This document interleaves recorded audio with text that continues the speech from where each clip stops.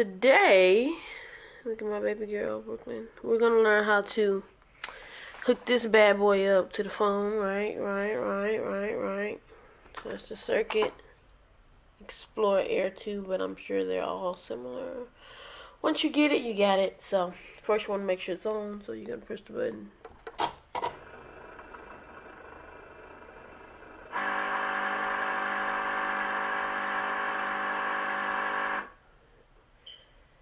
Alright, so after that, you see Bluetooth, you turn it on. Well, this is if you have an iPhone, but I'm sure Androids work the same way. And you see right there, Cricut Air 215DF. Wait for it to connect. Connect it. So if you don't have the Cricut.